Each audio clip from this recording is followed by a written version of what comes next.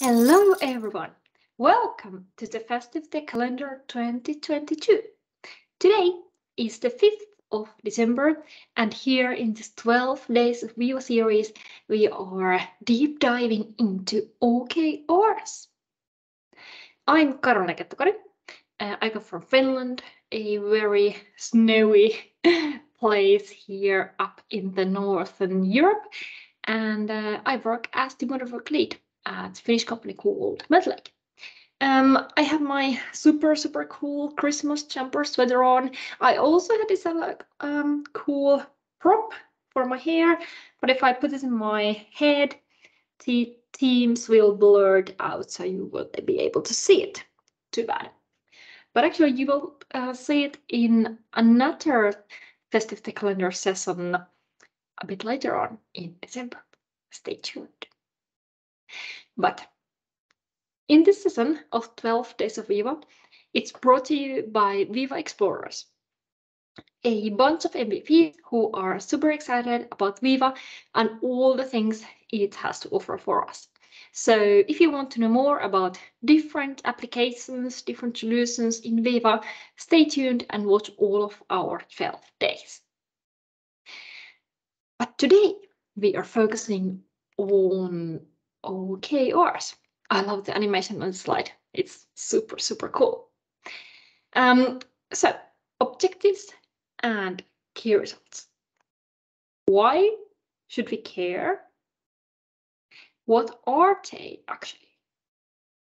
And how you should you should and you could start using OKRs in your organization.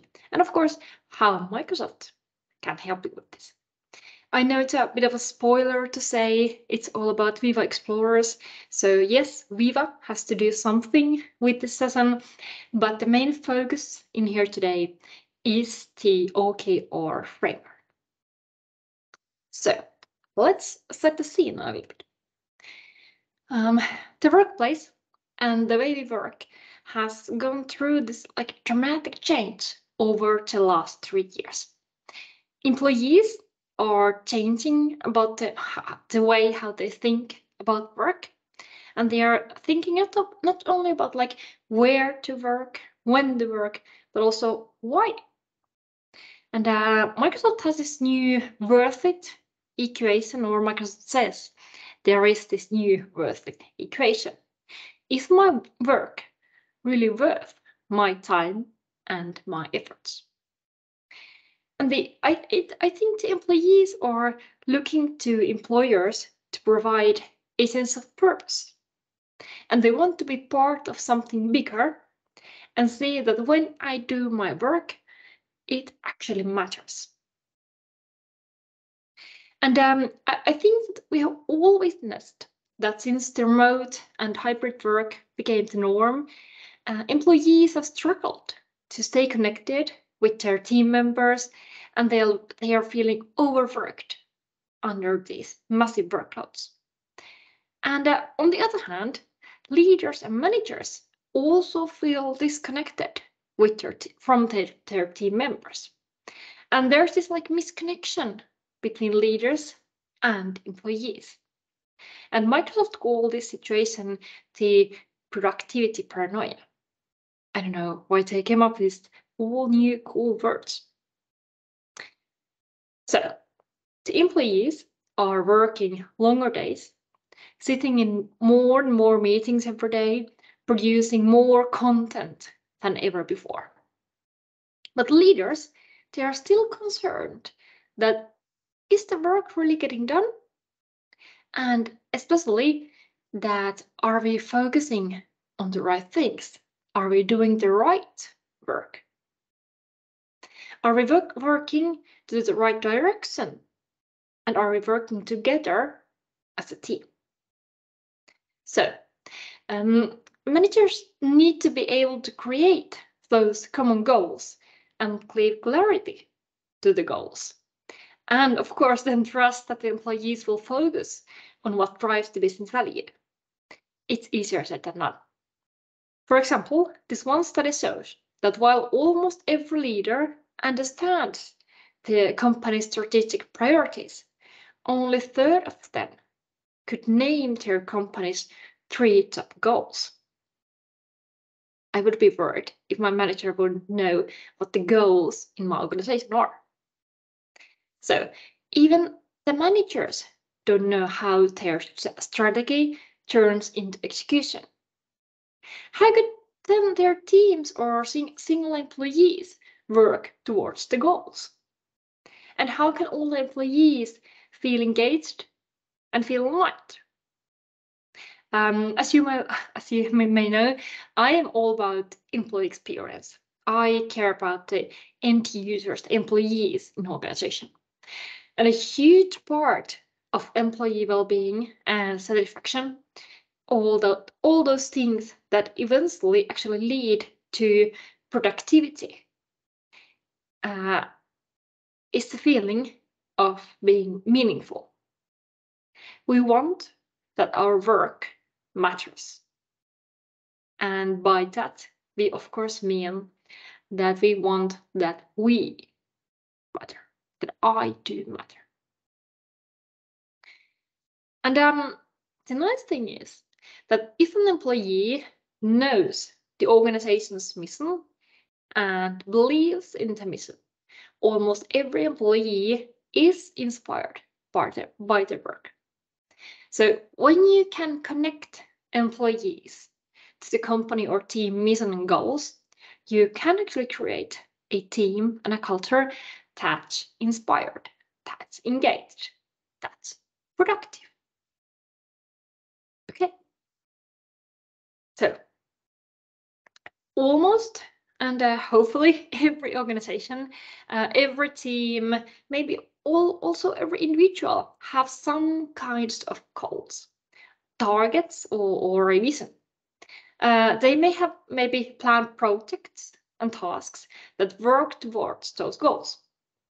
And the OKR is one of several goal setting frameworks. Uh, there are many others as well, uh, such as SMART, S-M-A-R-T. But um, what makes the OKR framework special and what I actually love about OKRs is two things. It's transparency and it's working together. Um, OKRs help employees to see their individual and team level contributions and align um, align them with team or organizational goals. So they provide this tra transparency into who is working what and help to ensure the accountability and responsibility that work is really getting done. So um, what's hidden, hidden behind this mystic acronym of OKR? So it stands for objectives and key results. OKRs are your organization targets as well as the metrics that tell you that, hey, you are, you are on the right path to meeting your goals. So objectives are what you want to achieve. And key results are how you're planning to achieving your objectives through benchmark and measurable indicators. So objectives, they should actually be ambitious and even that little bit of daring, like reaching goals. It's time to go big with objectives. Uh, still, objectives need to be something tangible, something that could be possible to realize. And key results, they are measurable magic word in here, milestones that are the evidence of completion of your objectives. Um, it's also important to know what key results are not. Key results are not activities. Key results are not projects or tasks, and they are also not your KPIs. Let's take a look at an example. OKRs, uh, they can't be used in a organization level, a, a team level, an individual level. And each level should always contribute contribute to the upper level goals. Uh, of course, the ultimate upper level being the organization's strategy. And objectives being something we want to achieve. They should be uh, collective, transparent goals that we are committed to meet as a team. It's a work for the whole team. And remember to think of those reach goals. Make them like a bit pompous, aim a little bit higher. For example, in here, your objective could be that you, you want to create the best customer advice, advisory board experience. The best ever made.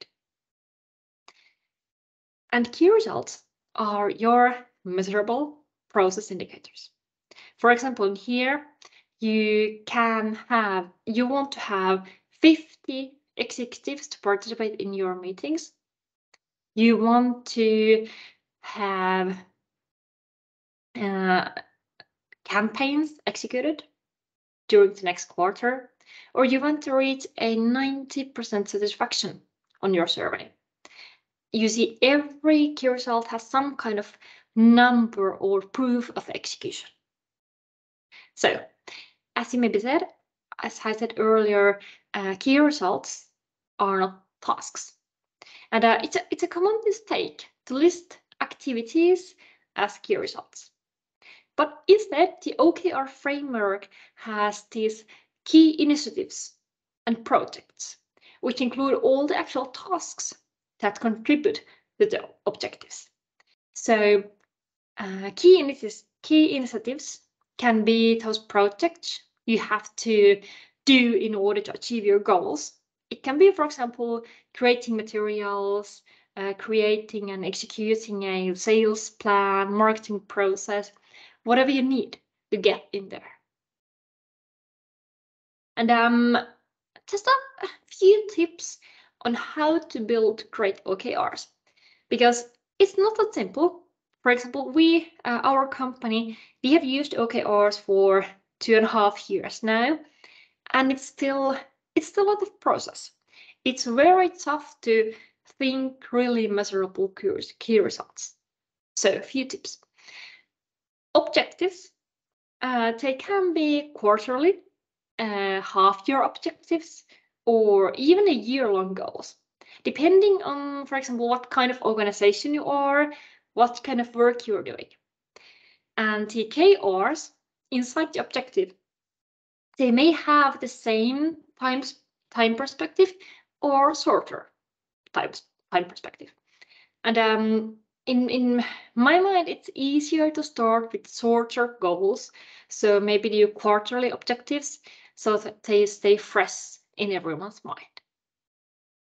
And it's easy to think of the rule of five. So you should have three to five objectives with three to five key results each. If you have more than five, you probably are not focused enough. And of course, OKRs are a team job. You need committed managers. You need OKR champions to drive the process in your organization. And you need to engage a whole team when you are creating those objectives and thinking of key results. Because if somewhere here, the co-creation makes miracles. And uh, remember not only to set and review your OKRs, but also you have to follow up on them regularly. But please note, this is actually very important. OKRs should never be linked to compensation discussions or they, they should never be a substitute for perform, performance management discussions. An OKR review is not a salary review. And the thing is that when you are reviewing OKRs, they are these reach goals, they are hard to reach. And actually, when re reviewing those, 70% of that goal is a good result. You don't even have to get, have to do the whole objective. 70% is enough. if you are a perfectionist like me, maybe a bit, this might be hard thing to to grasp. But yeah, OKRs are purposefully uh, difficult to achieve. And why do we have to? Why, why do we want to use this difficult framework? So first, of course, OKRs drive alignment. And they are a way to ensure that everyone in the company understands how their work affects on the team goals and the whole organization's strategic priorities. They also help the employees to align with the company's values and mission, actually. Things that usually they are just like words buried somewhere in the internet. But clear and common goals make working actually more productive and more efficient. And alignment is also linked to employee engagement. So when your team and the whole organization openly shares and follows up their goals and metrics, uh, employees will see the impact between the work and the outcomes it has on the team or, or the whole organizational level. So by contributing to the OKRs, the employees are part of this ongoing and transparent feedback cycle. And feedback actually is what keeps us going. Secondly, we have focus. And uh, as we, uh, as one of my tips, the best practice is to have three to five OKRs per quarter, maybe. And this supports the prioritization process and it helps everyone to stay focused. Actually, uh, Steve Jobs has said choosing what to do is as important as choosing what not to focus on just now. Sorry. I said that cho choosing what to do is as important and choose as choosing what not to focus on right now. So by having maximum of five OKRs, you will also like uh, avoid the trap of everything I do is important, so I can't prioritize anything. I have to do everything, and then I'm just working 24 7. Um, and why this matters is that, for example, according to the Work Trend Index studies, or little under half and a little over half of the managers are feeling feeling overworked or feeling burned out. So it's ever important right now to prioritize our work. And of course, OKRs also bring a better agility to our decision-making process. So if you regularly are following up the transfer progress of each key result, you're actually able to make these data-driven magic word, data-driven decisions and readjust your focus if needed. Because we're, we're living in this like um, business environment where things can drastically change. Maybe not overnight, but maybe over a whole weeks. And by tracking, revising, and adapting, uh, we, we, if, we, if you use the OKRs, they allow us to have the flexibility to change direction or to maybe rearrange our priorities if we want to drive better business, business results. Then we have purpose. So um, you maybe have heard me saying transparency quite a many times already, and it really is the key in the whole OKR process. Visibility on those desired outcomes across the whole organization creates accountability, helps to build trust, and fosters this collaboration inside and between teams and projects. Uh, as we saw a couple, couple of slides ago, so studies show that actually by using a goal setting framework leads to this higher employee engagement. Where people are feeling that their work matters and they have a purpose where they can participate in reaching these common goals in organization. And goals are actually brought closer to the day-to-day -day activities and inside the context of everyone's daily tasks. And last but not least, we have a growth.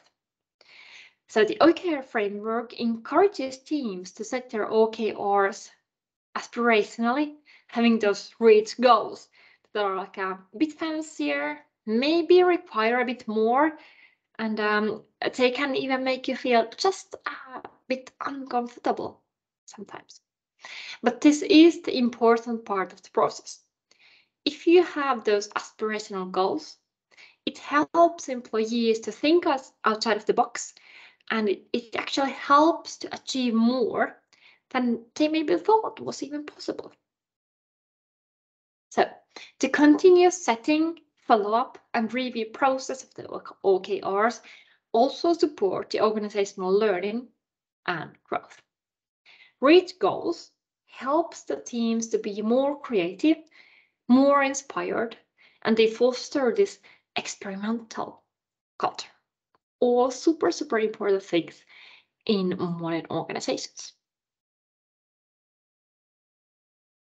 So how does technology help us with this OKR framework? Well, of course, with Viva Goals. Um, Microsoft bought the OKR software Ally.io in 2021, and now it has been upgraded and, and new, branded new as part of the Viva solution family as Viva Goals. And you can use Viva Goals as part of the Viva Suite, or of course you can bought it as a separate license.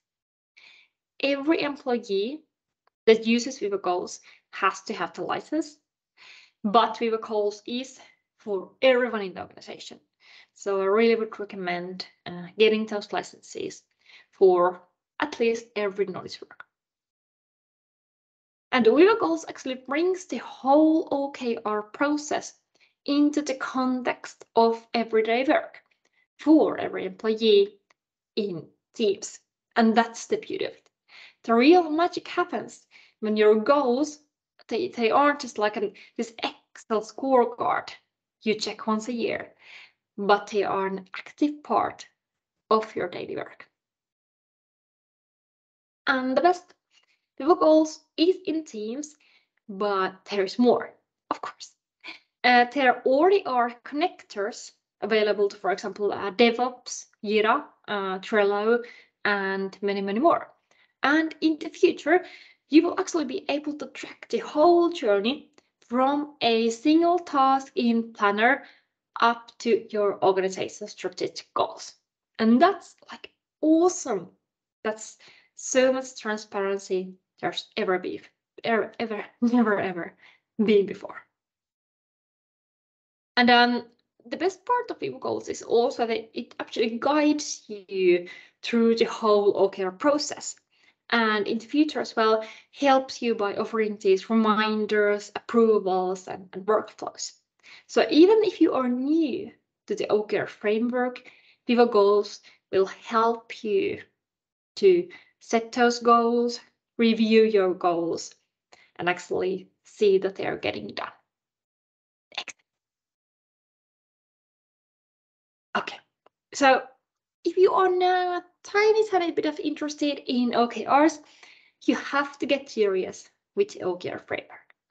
This is just a super, super small short presentation about the basics of OKRs, but there are many books, many videos about how the framework works. I have some links in, in here in my presentation, and I will also uh, share them in the YouTube comments so you can actually click on them. Managers are a super important part of deploying OKRs in the organization, as well as, of course, active champions network.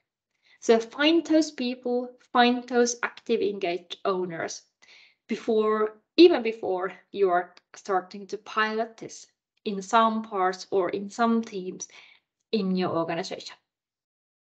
And it's a process. It takes time. It can take one year, even two years before the teams learn to uh, learn to process and know what kind of objectives and key results they need to set. But let Viva Goals help you with that.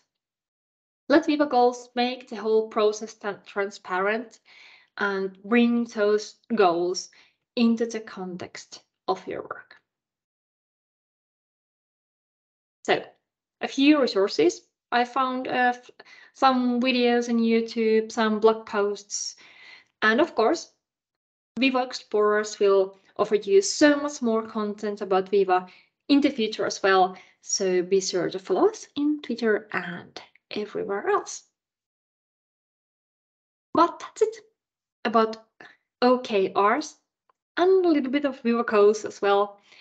I thank you for everyone for watching and happy holidays.